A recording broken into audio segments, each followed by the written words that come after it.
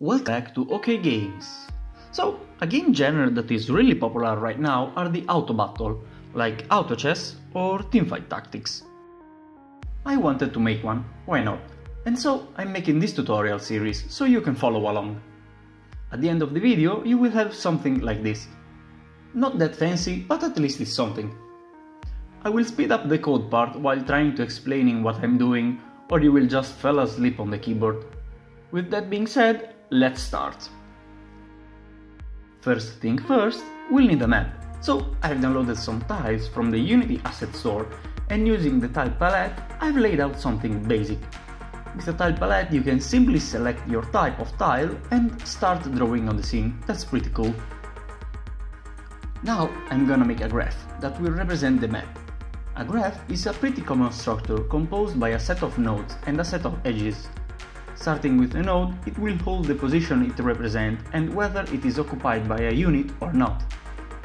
An edge, instead, represents a connection between two nodes, and so it will need a reference to those two nodes and how much does it cost to follow that edge. In our case, the cost will be infinity if the destination is occupied, and that means you can take that path. Moving to the graph itself, it will have a collection of nodes and a collection of edges, along with a bunch of methods for retrieving neighbors or to evaluate the distance between two nodes. Now that we have our graph class, we need to populate it. So, returning to Unity, let's create a grid manager that will handle all the setup and it will work as a middleman for our graph. We'll need a reference to the tile map for populating the graph automatically, and so, by cycling through all the tiles in the tile map, create a new node every time we find an existing tile with the tile world position. Having created all the nodes, we need to add the edges. A simple way of doing so is to cycle every node and add an edge towards every other node that is close to him. To visualize the graph in Unity, let's use debug.drawLine for the edges and gizmo.drawSphere for the nodes. Now, returning back to Unity, if we add a reference to the tile map and hit play, by going to the scene view we can see our graph being drawn. That seems okay. Now we need to add some units to the game. Let's start with a generic game manager that, for the moment, will handle the creation of our unit.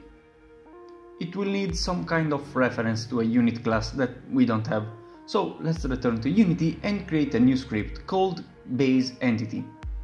This script will represent the base of every unit in the game, so it will hold every stat needed.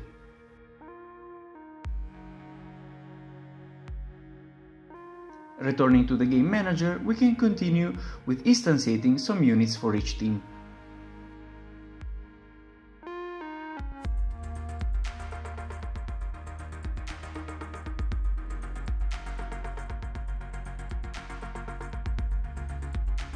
We need some way of initializing the unit. Let's add it.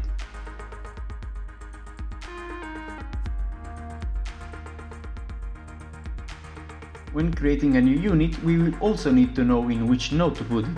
So, in our grid manager, create a function for retrieving the first free node for a given team. If it's for the team 1, we will start from the bottom left of the map, otherwise we will start from the top right. If the first selected node is occupied, we will continue and try the next one until eventually we run out of node or we find one that is free. I then made a manager class to act as a singleton base class. With that, I can set up the new unit with a free node given by the grid manager. Let's return to Unity and test this. First, we'll need a unit. So, with a nice knight sprite, let's make a prefab with the base entity script and remember to assign the sprite renderer. Let's assign to the game manager the newly created prefab, but before trying it, we need some other settings. First, we'll need to set the pivot of the sprite to the bottom center of the image. You can do so by selecting the sprite, clicking on the sprite editor and then move the little blue circle to the bottom of the image and hit apply. Next, we have to set the sorting layer of the sprite renderer to a greater value. I'll set this to 5. Now, if we hit play, we can see our 2 unit. Awesome! Now we can add some movement because they are just standing still. In our graph class, we can add a function that calculates the path between two nodes. It will hold an open list of nodes to search through and a collection of distance from a given node. Let's start by cycling while we still have a node in the open list. Get the closest one and see if it matches with our end node. If so, we are done, and we can build the path by going backward from the current node.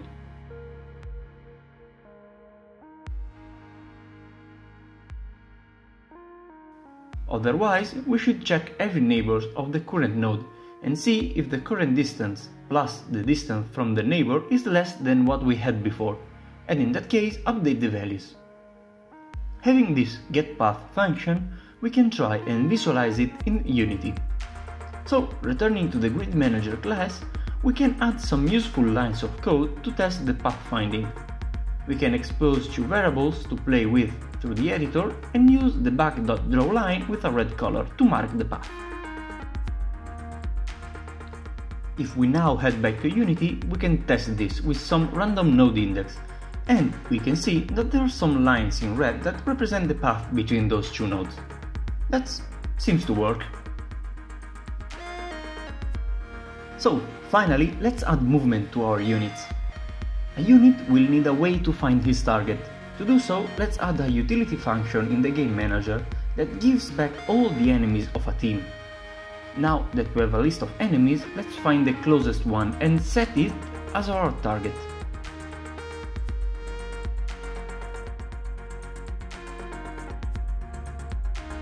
Great!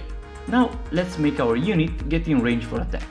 So, if we have a target and we are not already moving, we need to find a node where we can go to get closer. If we cycle through all the neighbors of the node where our target is standing on, we can take the first free node and use it as our target destination. Having now this destination, use the getPath function to retrieve the path we need to follow. If a valid path is returned, let's set our current destination to the first node of the path. For the movement part, simply calculate the direction towards our current destination and if we reach it, we can stop. Okay, we got some function laid out. Now what?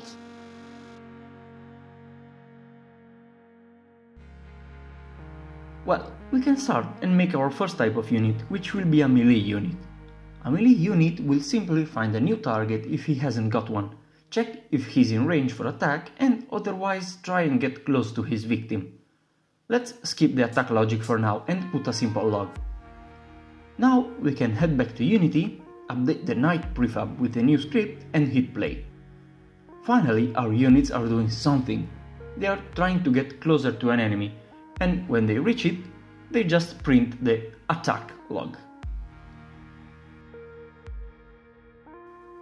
Let's now make our unit able to attack and receive damage. So, in our entity base class, we can add an attack function that will check if we can attack and then start a timer based on our attack speed to refresh our can attack flag. Then we can add a take damage function that will update the current health of the unit and check if it's dead. Let's finalize now the melee unit logic by making him attack his target when it's in range. When a unit dies, we need to inform the game manager, so let's add a function to handle this case that will remove the dead unit. Okay, they are attacking each other, but we can't see that much. So let's add a health bar. I've created two awesome images for the health bar. Let's drag them into the scene and adjust them. The green bar will represent how much life a unit has, and I want it to scale it towards zero when the unit life is decreasing. To do it, we need to set the pivot of the green bar to the left edge of the image, so it will scale toward that direction. Now let's resize it to a more realistic size and add a new script to it named, well, health bar. This script will resize the green bar based on the current life of the unit and will have the same position as it, plus an offset for, for moving it above the unit's head. This script will resize the green bar based on the current life of the unit and will have the same position as it, plus an offset for moving it above the unit's head. Now, a unit will need a reference to the health bar prefab. It will instantiate one for himself during the setup function, and it will need to keep it updated every time he takes damage. We can now return to Unity, add the reference to the health bar prefab and hit play. Let's enjoy for a moment our knights moving and killing each other. This was a concentrated and fast tutorial on how to start an auto battle game.